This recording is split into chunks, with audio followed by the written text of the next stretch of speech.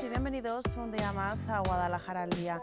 Ya es, ya es, jueves, ya notamos más cerca el fin de semana y nosotros antes de comenzar nuestro magazine, como siempre, recordarles nuestras vías de contacto, tanto el número de teléfono como la dirección de correo electrónico y recordarles también que siempre nos pueden encontrar a golpe de clic a través de nuestras distintas redes sociales y también en nuestro canal de YouTube. En la tarde de hoy vamos a tener a la serranía celtibérica como la gran protagonista. Vamos a descubrir en qué consiste, dónde se sitúa y sobre todo los apoyos con los que va contando cada día y de qué forma está creciendo. Así que si os gusta, si queréis saber más sobre esta serranía celtibérica, esto es Guadalajara al día y comenzamos.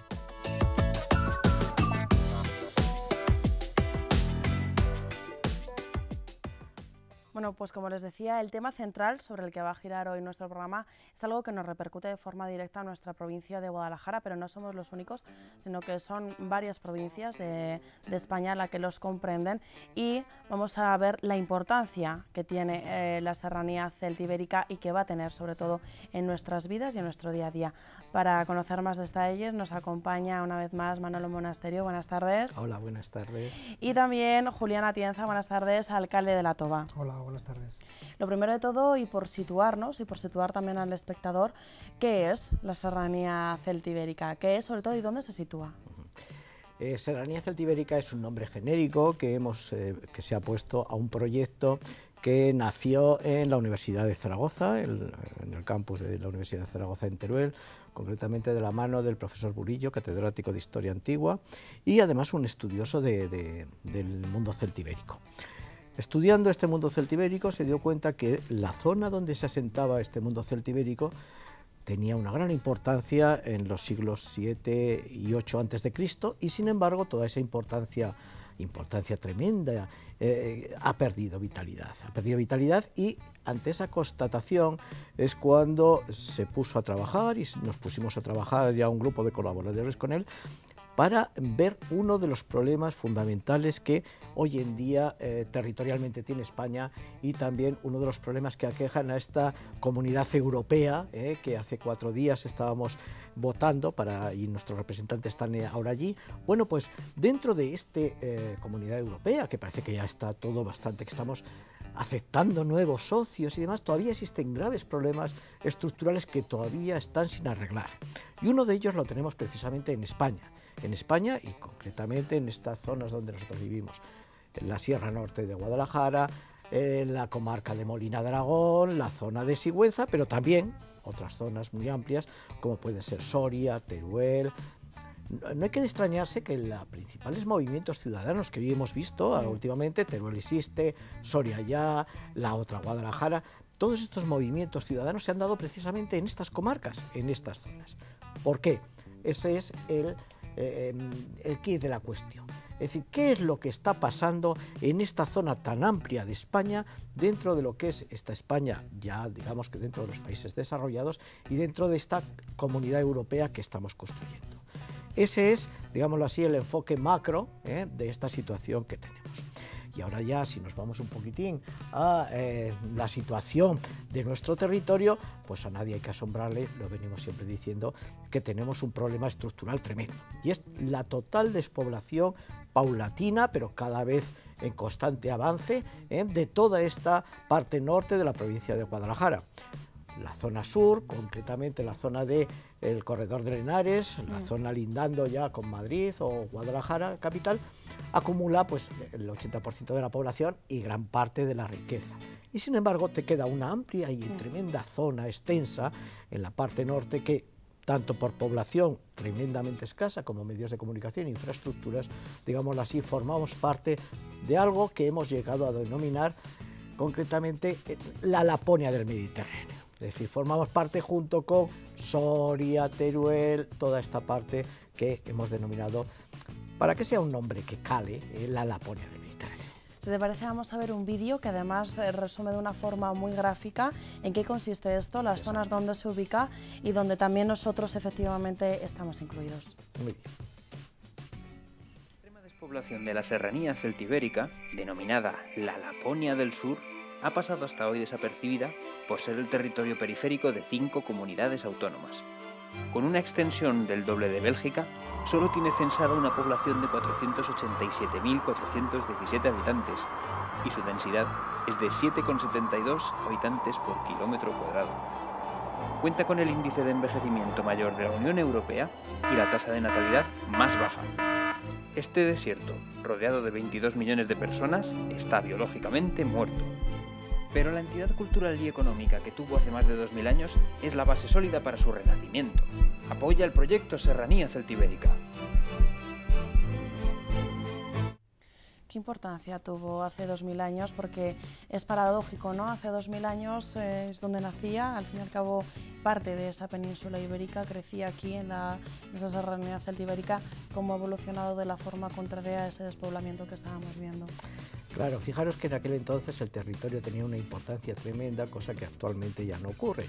La concentración de los medios de producción, este ritmo desenfrenado que tenemos ha desestructurado las poblaciones. Pero remontándonos hace dos mil años, fijaros, os sabéis, eh, sabéis que los últimos meses del año son octubre, que es el mes octavo, noviembre, el mes noveno, diciembre, eh, que es el, mes décimo, ¿no? Dice, eh, bueno, pero no corresponde. Entonces, ¿qué es lo que está ocurriendo ahí? ¿Por qué esos nombres? Estamos refiriéndonos al calendario romano. El calendario romano tenía 12 meses y el mes décimo era el décimo, luego estaba el undécimo y el duodécimo. ¿De acuerdo? Pues bueno, los romanos ven que se les declara la guerra por parte de, para ellos, una zona que tenía vital importancia y que era concretamente la Celtiberia hispana. ¿eh? Tienen que cambiar el calendario y nos llega hasta nuestros días para poder guerrear y mandar a 25.000 soldados para una ciudad ségeda que les había declarado la guerra. Pero los segetanos consiguen aglomerar a esta serranía celtibérica, a estos celtiberos, poner en marcha un ejército de 15.000 hombres y derrotar a los romanos en esta primera gran batalla que hubo. Fijaros la, similitud que podríamos tener ahora si Estados Unidos manda unas tremendas fuerzas contra... Eh, cualquier de los grandes países. ¿no? Estamos ahora en las luchas entre, eh, digamos, estratégicas, geoestratégicas, el mundo occidental, oriental, ¿no? Pues en aquel entonces este mundo civilizado, este mundo, eh, se centraba en Cartago por una parte, pero también la Celtiberia por otra y Roma por otra. Es decir, geoestratégicamente era una, tenía una tremenda, enorme y vital importancia.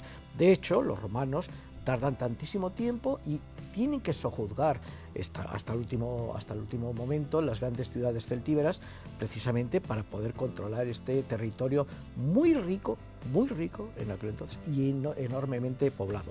Numancia es el último caso que tenemos de una gran guerra de exterminio que ocurre. ¿no? Pues una tremenda potencia como es Roma tiene que emplearse a fondo, calcular realmente la importancia geoestratégica, vital, económica y poblacional que tenían en aquel entonces estos territorios. Bien, esto ocurre que, bueno, posteriormente eh, ha habido una metamorfosis en el territorio y también ha habido una evolución de los medios de producción hacia grandes ciudades, sobre todo la línea del ferrocarril que unía Madrid con el norte de la península, al desviarse por lo que era el camino real, que pasaba entonces por Molina Dragón, muy cerquita de Molina Dragón, lo que nos da como, como situación es el abandono de toda esta comarca, de toda esta población. ¿de acuerdo? Los medios de producción se ponen en marcha precisamente al servicio de los medios de comunicación, ferrocarril, eh, vías marítimas y claro está, los, los grandes medios de producción se van hacia la costa y se desertiza. Se necesitaba mano de obra y todo ello va en función de sacarlo de donde sobraba en aquel entonces, la zona del campo, la zona rural. Ese es el grave problema que hemos tenido precisamente, se nos ha despoblado. Fijaros, de los casi 1.400 pueblos menores de 100 habitantes que hay en España, ¿eh? más de 700 están aquí, en esta comarca, en estas zonas. Es decir, tenemos unos de los peores problemas de despoblación europeos. ¿Eh? Pero además es que hay que ponerlo de manifiesto porque como se reparten en cinco comunidades autónomas, pues digamos que son pequeños problemas que no se ponen de manifiesto. ¿Cuál es la virtud de este proyecto de Serranía Celtibérica? Haber aunado todos esos eh, conceptos, todos esos datos y poder decir, mira, este territorio está así de desestructurado. Esto hay que trabajarlo para llevarlo a las comunidades autónomas, a las diputaciones, para que este problema se ponga de manifiesto en el gobierno central y sea trasladado a alguien que realmente a la institución que realmente tiene el problema, que es Europa. Europa tiene unos fondos de cohesión. En este año concreto son 36.000 millones de euros los que se han dado de fondos de cohesión. 20.000 los administra directamente el gobierno español y 16.000 se les ha dado a las comunidades autónomas.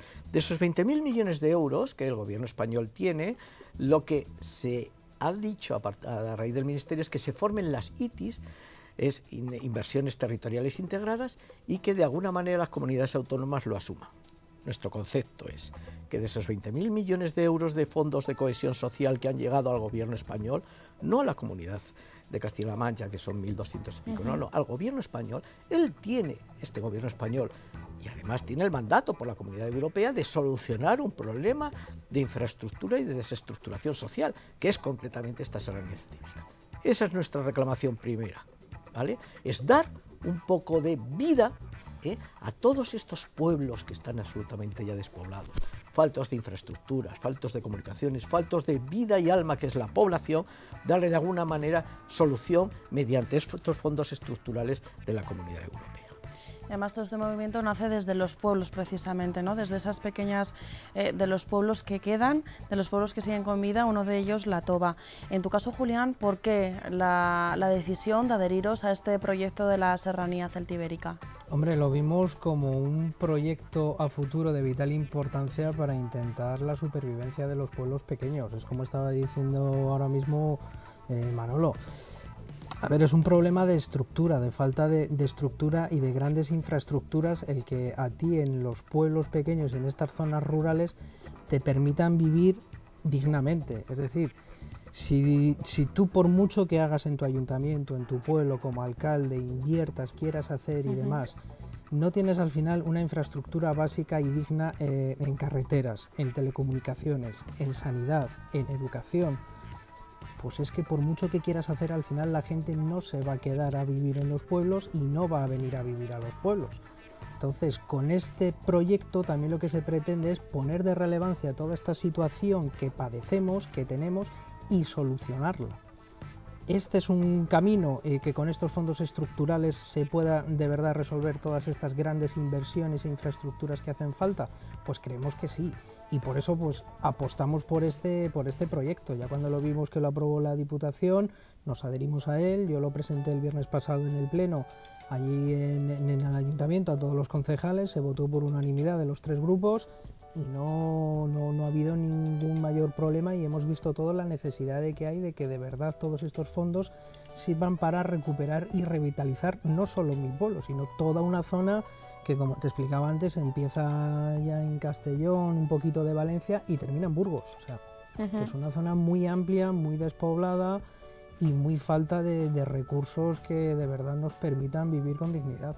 En el caso de la Toba, ¿cómo habéis notado el despoblamiento? Es decir, ¿cuáles han sido los motivos que más han propiciado que la gente se vaya del pueblo?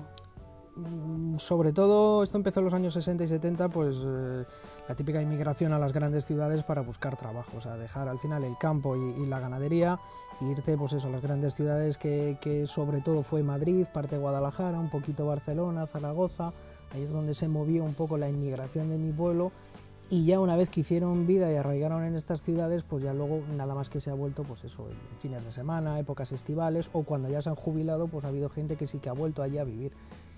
Los problemas con los que nos encontramos ahora, pues es un poco como te decía antes, eh, cómo te formas tú al final una familia, un modo de vida, si el hospital más cercano lo tienes a 60 kilómetros. Si eh, tus hijos cuando tienen que hacer la educación, hasta la educación eh, secundaria obligatoria, es decir, hasta los 16 años, vale, pueden ir a Jadraque, que es el pueblo de al lado, que está a 12 kilómetros, pero a partir de ahí a buscarse la vida. Y buscarse la vida significa irse a Guadalajara, a Madrid y demás, porque ya no hay más. Ya no hay más. El tema de la comunicación, pues en fin, la carretera que nos da servicio, yo tengo 37 años y conozco la misma carretera desde que nací. Ah, con eso te lo digo todo. Tema de las telecomunicaciones, hemos ido mejorando poco a poco, pero con proyectos que se ha ido buscando el ayuntamiento podemos tener unas telecomunicaciones más o menos dignas que también permitan poder tener ahí una posibilidad. Pero todo esto en su conjunto hace que la vida en el pueblo, claro, sea muy difícil. Muy difícil porque tiene estas estas, no sé, estas pegas o estos problemas que, claro, la gente que vive, por ejemplo, aquí en Guadalajara capital, pues no, no, no lo echa de menos. por ejemplo, las últimas cosas que hemos hecho en el, en el, pueblo, que tenemos intención este verano ya de abrir, es un pequeño botiquín de farmacia para que la gente cuando va al médico, en ese mismo día pueda tener las medicinas. Y esto lo estoy mm. diciendo en el año 2014, claro. que es que ahora, pues cuando tú vale, vas al médico que te va dos días a la semana, te da una receta y a partir de ahí búscate la vida. Y lo hemos estado intentando solucionar todos estos años desde el ayuntamiento, pues con nuestros propios medios, tal, irlo a buscar y demás. Y ahora vamos a poder tener un punto en el, en el, en el propio pueblo en el que tú salgas del médico y puedas comprarte tus medicinas. Sí, y estamos en 2014, o sea, es que llegamos a estos niveles tan básicos. Entonces, claro, por más que podamos hacer desde los pueblos pequeñitas cosas para intentar mejorar el día a día, pero al final nos hacen falta estos grandes apoyos, estas grandes infraestructuras que eh, hagan que sobrevivamos, que supervivamos y que podamos al final tener un desarrollo. Eh, Manolo, lo que representa y lo que nos está contando Juliana es un poco eh, el reflejo ¿no? de muchos pueblos que están viviendo, es la realidad y que realmente ese proyecto de Serranía Celtibérica les podría ayudar, como él dice, en la infraestructura, en, digamos, trabajar por un futuro de esos pueblos que, actualmente cada vez va para atrás, ¿no? cada vez va menos, por lo menos paralizar, ¿no? paralizar ese mm, proceso de despoblamiento al que, al que se están viendo. Eh, ¿Por parte de quién faltan los apoyos? ¿Por parte de quién debería tomar parte en esto, aparte de, como decíamos, esa comunidad europea que tiene en su mano pues, eh, bien dirigir desde el gobierno central estas, estas ayudas concretas. Está claro, quien tiene la solución es la comunidad europea y la forma de acceder a esas soluciones a través de los fondos europeos de cohesión. Eso eh, es absolutamente meridiano. Pero claro, a la Comunidad Europea, que es un ente, hay que llevarlo y hay que llevar un proyecto y un proyecto en condiciones. Y hay que llevarlo por parte de quién, del alcalde de un pueblo o concretamente el director de un museo, como es mi caso. No, tiene que ser precisamente el gobierno de la nación que lo representa pero a ese gobierno de la nación tiene que llegar un apoyo unánime de quién? De las comunidades autónomas que tienen ese mismo problema. Y si vamos descendiendo en esta escala, los primeros que se tienen que dar cuenta de cuáles son esos problemas son las diputaciones provinciales. Las diputaciones provinciales que son los que en esta, en esta estructura que tenemos política actual en España, son los que están teniendo la, la posibilidad y la obligación precisamente de dar cobertura a estas necesidades. Y claro, al llegar, para llegar a ellos hace falta los ayuntamientos. Entonces esa es la estructura básica. Primero, tienen que darse cuenta, tenemos que visualizarlo a través de este proyecto que desde la universidad ha surgido con muchos apoyos, hay que visualizarlo en los ayuntamientos, en las diputaciones provinciales. Quizá la provincia de Guadalajara es la que más apoyos ha tenido en este sentido, tanto por parte de la presidencia de la Diputación Provincial como por parte del Pleno de la Diputación, por parte de todos los grupos políticos que se han manifestado unánimemente apoyándolo, ha sido algo digámoslo así, que somos quizás los más avanzados. Vamos a tener noticias en breve eh, de la, concretamente del Gobierno de Aragón, que ya estamos eh, realizando con ellos gestiones, está realizando trabajos eh, de muy diversas maneras, igual que estamos aquí, estamos en bastantes provincias al mismo tiempo trabajando y dentro de poco recibiremos noticias además positivas. Pero la semana pasada, la anterior, estuvimos en el Ayuntamiento de Cuenca en una reunión como la que tenemos ahora y Juan, el alcalde de Cuenca, lo veía tan bien y tan meridianamente claro como lo que estamos viendo ahora. Dice, es que es verdad, como eran pequeños problemas repartidos en nueve eh, diputaciones provinciales, no nos dábamos cuenta de, cuál era la realidad, el, el problema tan gordo y tan tremendo que existe y ahora ya le vemos, digámoslo así, vemos el problema y vemos la solución. ¿Cuál es el digamos, el calendario que tenemos que seguir, por decirlo de una manera. Bueno, lo primero que tenemos que conseguir es que las diputaciones provinciales se tomen nota de este problema, nos ayuden para trasladar al gobierno regional en cada una de las, de las regiones distintas, nosotros concretamente en Castilla-La Mancha, para que al ministerio se le reclame una ITI. ¿Qué es una ITI? Dicho así. Es una inversión territorial integrada. Es decir, es un conjunto de fondos que concretamente se pueden acercar a los miles de millones de euros, que van destinados a un fin concreto. El fin concreto es el que hemos dicho, evitar, si no evitar, por lo menos parar eh, y poner las bases para que esta despoblación desaparezca. ¿En dónde? En el conjunto de comunidades autónomas que hemos denominado Serranía Celtibérica. Ese es el objetivo final y último que tenemos a medio plazo.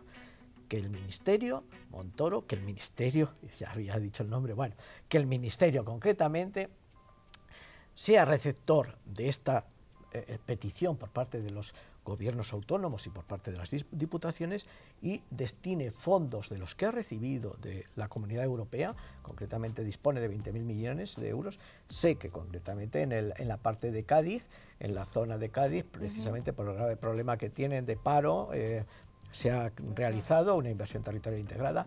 Recientemente hablaban de Extremadura, que se va a realizar otro. Bueno, pues la tercera, la tercera gran inversión tiene que ser esta. Eso es lo que de alguna manera estamos reclamándole a la Administración, estamos reclamando al Gobierno eh, español, eh, pero también a nuestros gobiernos autónomos para que se lo trasladen a ellos. El problema es tremendo, enorme. Hay un factor muy importante y es que hay que tener en cuenta que este tremendo eh, espacio está muy poco poblado, pero tenemos uno de los mayores patrimonios y recursos de los cuales somos herederos que es que cuando un pueblo desaparece, desaparece mm. no solamente la, población, sino todo el mantenimiento de infraestructuras y de todo, monumentos, eh, carreteras, acequias, eh, todo eso desaparece porque la población, en definitiva, son los gestores y lo que los mantienen. Y de hecho, en este caso concreto, los ayuntamientos, que son algunos más concienciados que otros, los que de alguna manera tienen que mantenerlo eso para futuras generaciones. Además, hablando de ese patrimonio que tenemos, es imposible también olvidarnos del geoparque, ¿verdad? ¿Cuál es la relación que tiene el geoparque de Molina con esta serranía celtibérica? Porque forma parte de, ella, ¿verdad? Sí, exactamente. El geoparque es un, un, trocito, un trocito relativamente pequeño porque este tremendo espacio que hemos visto pues es enorme, ¿no? Eh, digamos que las estructuras de, cohesión social y sobre todo de desarrollo hay que mirarlos levantando un poco más el foco que simplemente los problemas locales. ¿eh? El Molina de Aragón tiene unos problemas locales como ayuntamiento o concretamente la Toba como ayuntamiento, pero por encima de esos problemas están los problemas de la comarca y por encima de esos problemas de la comarca están el problema de la zona donde estamos eh, dimensionados. Bueno, pues el Geoparque de la comarca de Molina de Aragón fue precisamente eso, un proyecto de reconocimiento de las características tan especiales y tan magníficas de tesoro eh, geológico, medioambiental y sobre todo humano que tenía esa. Lo conseguimos, fue un trabajo de cuatro o cinco años. Mucha gente intervino en ello, ayuntamientos, instituciones, no hay que olvidar que las instituciones ahí nos ayudaron formidablemente. Y yo creo que ese ha sido un poquitín el ejemplo que nos ha animado también. Bueno, pues vamos a ver si esto se ha conseguido aquí. Vamos a trasladar esto también a una situación bastante más grande. Algo que todo el mundo creo que estamos súper satisfechos. Hace un año estaban los evaluadores internacionales, concretamente en Molina de Aragón, en la comarca de Molina de Aragón, eh, John, Melanie, en fin, eh, eh, evaluadores internacionales que nos vinieron a conocer cuáles eran nuestros objetivos, cuál era nuestro planteamiento, nuestro desarrollo y un factor muy importante, si había población y gente implicada para poderlo desarrollar. Se marcharon maravillados y de hecho estamos en, el, en la red mundial de geoparques. Tendremos que ir en octubre a recibir, en finales de septiembre tendremos que ir a recibir ya las credenciales. En Alemania nos darán la europea, pero en Canadá en septiembre nos darán la entrada en la red mundial de geoparques. Bueno, pues ese es un trabajo que se ha venido haciendo, ya generaciones posteriores lo tienen que mantener, claro, pero bueno, nosotros concretamente estamos ilusionados porque creemos que ese es un poco el camino, el camino que hay que hacer, no solamente reclamar, hay que hacerlo, ¿eh? y reivindicar todas las necesidades que tenemos a nivel local, ¿vale? Pero también hay que mirar lo comarcal, y más que lo comarcal, lo provincial, y más que lo provincial, toda la estructura, esta que hemos hablado de serranía celtibérica, que yo creo que es un planteamiento global que nos dará solución a estos problemas. Eh, Julián, en la zona donde tú te ubicas, donde se ubica la Toba, en los eh, pueblos vecinos también están concienciados de esta necesidad, de esta eh, necesidad de formar parte de la serranía celtibérica.